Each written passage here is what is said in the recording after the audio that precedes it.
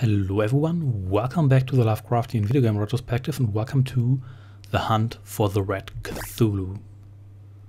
This is another Lovecraftian themed game from itch.io and this time you take the role of an undersea explorer in a small submarine and your goal is to find the anomaly called the Red Cthulhu. This is, well, at least title-wise it's based on the Tom Clancy film slash novel of the same name. Or, well, not the same name, it's called The Hunt for Red October, which is not quite the same name, but it's definitely inspired by that. And the game's fairly simple.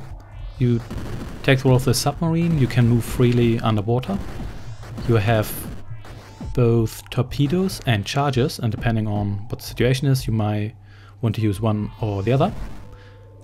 You navigate through these mazes here, you find keys to advance. You have to avoid enemies, kill enemies, find shields because your health is limited obviously.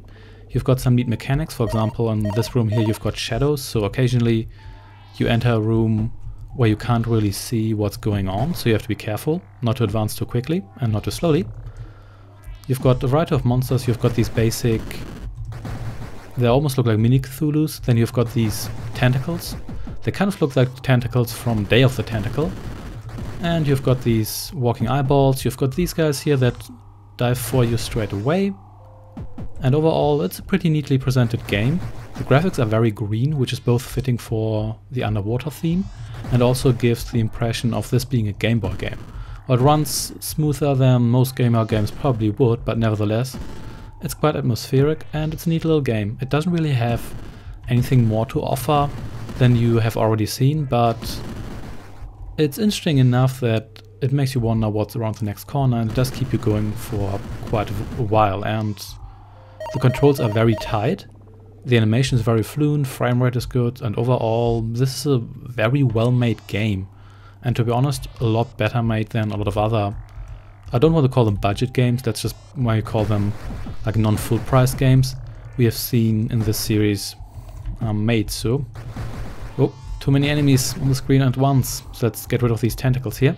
Yeah, all the enemies have projectiles, so don't expect to just be able to blast them away at any time, but you do have the edge most of the time. But the game gets surprisingly hard later on, so save your resources while you can, you're going to need them later. You also have these, you could also almost call them blast doors. They kind of remind me of those doors from Metroid, or at least the Super Metroid and the original Metroid game. And again, this gives a nice homage to older exploration-based platformers. Whoop! Didn't see that guy coming. And should have seen that guy in the shadows, but didn't. Anyway, our shield situation is quite good. And we can't get through here right now, so let's explore here. And to be honest, this is pretty much all I have to say about this game. It's pretty neat. It's also free. You can play it in your browser. You can also download it if you want. So whatever your medium of choice is. Whoa, that was a mistake. You can enjoy this game. And I'm going to leave a link in the description and I do recommend that you check it out. So yeah,